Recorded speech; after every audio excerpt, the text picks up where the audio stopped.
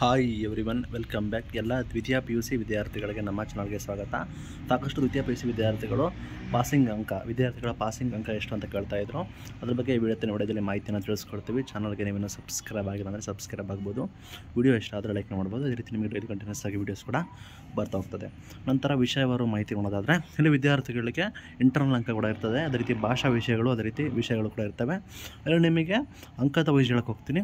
ನಿಮಗೆ ಅಂಕದ ವೈಸ್ ಹೇಳ್ಕೊಡ್ತೀನಿ ಟೋಟಲ್ ಬಂದ್ಬಿಟ್ಟು ನೀವು ನೂರು ಮಾರ್ಕ್ಸ್ಗೆ ನಿಮಗೆ ಕನ್ಸಿಡರ್ ಮಾಡ್ತಾರೆ. ಇಂಟರ್ನಲ್ ಅದೇ ರೀತಿ ಎಕ್ಸ್ಟರ್ನಲ್ ನಿಮ್ಮದು ಆಂತರಿಕ ಮಾರ್ಕ್ಸ್ಗಳು ಅದೇ ರೀತಿ ನೀವು ಬರೆಯೋದು ಎರಡು ಸೇರಿ ನೂರು ಅಂಕಗಳಿಗೆ ನಿಮಗೆ ಟೋಟಲ್ ಬಂದುಬಿಟ್ಟು ಪರೀಕ್ಷೆ ನಡೀತದೆ. ಅದರಲ್ಲಿ ನಿಮಗೆ ಗೊತ್ತಿರೋ ಹಾಗೆ ನೂರಕ್ಕೆ ಮೂವತ್ತೈದು ಅಂಕಗಳು. ನೂರಕ್ಕೆ ಕನಿಷ್ಠ ಮೂವತ್ತೈದು ಅಂಕಗಳನ್ನು ನೀವು ಪಾಸ್ ಆದರೆ ತೆಗೆದ್ರೆ ನಿಮ್ಮನ್ನು ಉತ್ತೀರ್ಣರು ಅಂತೇಳಿ ಅನೌನ್ಸ್ಮೆಂಟ್ ಕೂಡ ಮಾಡ್ತಾರೆ. ಅಂದರೆ ನೀವು ಪಾಸ್ ಅಂತೇಳಿ ಅನೌನ್ಸ್ಮೆಂಟ್ ಕೂಡ ಮಾಡ್ತಾರೆ. ಇಲ್ಲಿ ನೀವು ಸೈನ್ಸ್ ವಿದ್ಯಾರ್ಥಿಗಳು ಫಾರ್ ಎಕ್ಸಾಂಪಲ್ ಎಪ್ಪತ್ತು ಅಂಕಗಳಿಗೆ ಪರೀಕ್ಷೆ ಬರೀತೀರಾ, ನಂತರ ಮೂವತ್ತು ಅಂಕಗಳಿಗೆ ಇಂಟರ್ನಲ್ ಇರುತ್ತೆ.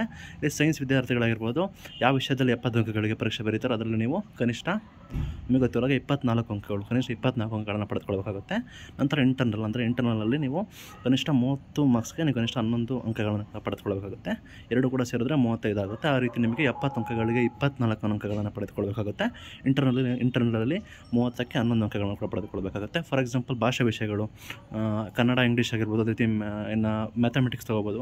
ಅದೇ ರೀತಿ ಕೆಲವು ವಿಷಯಗಳಲ್ಲಿ ನೂರು ಅಂಕಗಳಿಗೆ ನೀವು ಪರೀಕ್ಷೆ ಬರೆದ್ರೆ ಅದರಲ್ಲಿ ನೀವು ಮಿನಿಮಮ್ ಮೂವತ್ತೈದು ಅಂಕಗಳನ್ನು ಪಡೆದುಕೊಂಡು ನೀವು ಪಾಸ್ ಅಂತೇಳಿ ಕನ್ಸಿಡರ್ ಮಾಡ್ತಾರೆ. ಅದೇ ರೀತಿ ನೆಕ್ಸ್ಟ್ ಹೋಗೋದಾದರೆ, ಎಂಬತ್ತು ಅಂಕಗಳಿಗೆ ಕೆಲವೊಂದು ವಿದ್ಯಾರ್ಥಿಗಳಿಗೆ ಎಂಬತ್ತು ಅಂಕಗಳಿಗೆ ಮಾರ್ಕ್ಸ್ ಇರ್ತದೆ. ರೀತಿ ಇಪ್ಪತ್ತು ಅಂಕಗಳಿಗೆ ಇಂಟರ್ನಲ್ ಇರ್ತದೆ.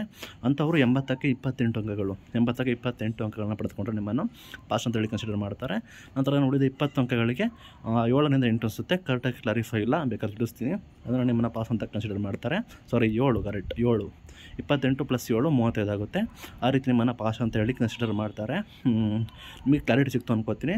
ನೂರು ಅಂಕಗಳಿಗೆ ಮೂವತ್ತೈದು, ಎಂಬತ್ತು ಅಂಕಗಳಿಗೆ ಇಪ್ಪತ್ತೆಂಟು, ಎಪ್ಪತ್ತು ಅಂಕಗಳಿಗೆ ಇಪ್ಪತ್ನಾಲ್ಕು ಅಂಕಗಳನ್ನು ಕೂಡ ಪಡೆದುಕೊಳ್ಳಬೋದು ಪಡೆದುಕೊಳ್ಳಲೇಬೇಕು. ಆಗ ನಿಮ್ಮನ್ನು ಪಾಸ್ ಅಂತ ಕನ್ಸಿಡರ್ ಮಾಡ್ತಾರೆ. ಇಲ್ಲಿ ಒಂದು ಎಕ್ಸ್ಕ್ಯೂಸ್ ಇರುತ್ತೆ. ಆ ಎಕ್ಸ್ಕ್ಯೂಸ್ ಬಗ್ಗೆ ಬೇಕಾದ್ರೆ ನಿಮಗೆ ತಿಳಿ, ಮಾಹಿತಿನ ಕೊಡ್ತೀನಿ.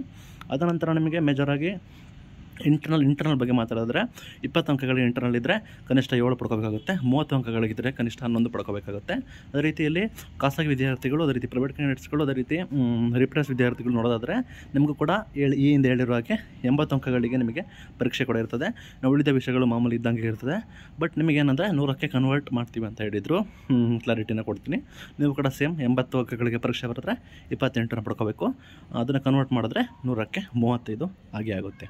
ಈ ರೀತಿ ನಿಮಗೆ ಕ್ಲಾರಿಫೈ ಅನ್ಕೋತೀನಿ ನೂರಕ್ಕೆ ಮೂವತ್ತೈದು ಎಪ್ಪತ್ತಕ್ಕೆ ಇಪ್ಪತ್ನಾಲ್ಕು ಎ- ಎಂಬತ್ತಕ್ಕೆ ಇಪ್ಪತ್ತೆಂಟು ಇಂಟರ್ನಲ್ ಬಂದುಬಿಟ್ಟು ಕೂಡಿದ್ರೆ ಮೂವತ್ತೈದು ಆಗಿರಬೇಕಾಗುತ್ತೆ. ಆಗ ನಿಮ್ಮನ್ನು ಮಾತ್ರ ಪಾಸ್ ಅಂತ ಹೇಳಿ ಕನ್ಸಿಡರ್ ಮಾಡ್ತಾರೆ.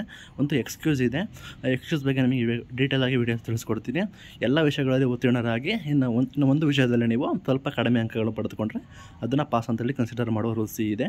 ಫಾರ್ ಎಕ್ಸಾಂಪಲ್ ಹೇಳೋದಾದರೆ, ಎಲ್ಲ ವಿಷಯಗಳಲ್ಲಿ ನೀವು ಉತ್ತೀರ್ಣರಾಗಿದ್ದೀರಾ? ಒಳ್ಳೆ ಸ್ಕೋರ್ನ ಕೂಡ ಮಾಡಿದ್ದೀರಾ? ಬಟ್ ಒಂದು ವಿಷಯದಲ್ಲಿ ನೀವು ಪಾಸಿಂಗ್ ಮಾರ್ಕ್ಸ್ನ ಪಡ್ಕೊಂಡಿಲ್ಲ. ನೂರಕ್ಕೆ ಮೂವತ್ತೈದು ಪಾಸಿಂಗ್ ಮಾರ್ಕ್ಸ್ನ ಪಡ್ಕೊಂಡಿಲ್ಲ. ಫಾರ್ ಎಕ್ಸಾಂಪಲ್ ನೂರಕ್ಕೆ ಮೂವತ್ತನ್ನು ಪಡ್ಕೊಂಡಿದ್ದೀರಾ? ಅಂಥ ವಿಷಯದಲ್ಲಿ ಒಂದು ಎಕ್ಸ್ಕ್ಯೂಸ್ ಇದೆ. ಅದನ್ನು ಯಾವ ರೀತಿ ಇಂಪ್ಲಿಮೆಂಟ್ ಮಾಡ್ತಾರೆ, ಯಾರಿಗೆ ಅಪ್ಲಿಕೇಬಲ್ ಆಗುತ್ತೆ, ಎಲ್ರಿಗೂ ಅಪ್ಲಿಕೇಬಲ್ ಆಗುತ್ತಾ, ಏನು ಕಂಡೀಷನು ಅಂತ ಹೇಳಿದರೆ ಇದೆ. ಅದನ್ನು ನಮಗೆ ಬೇಕಾದರೆ ವಿಡಿಯೋ ಮಾಡಿ ತಿಳಿಸ್ಕೊಡ್ತೀನಿ. ಡೌಟ್ ಇದ್ದರೆ ಕೂಡ ಕಮೆಂಟ್ ಮೂಲಕ ತಿಳಿಸಿ. ಥ್ಯಾಂಕ್ ಯು ಫಾರ್ ವಾಚಿಂಗ್ ಎಲ್ಲ ಪಿ ಯು ಸಿ ವಿದ್ಯಾರ್ಥಿಗಳಿಗೆ.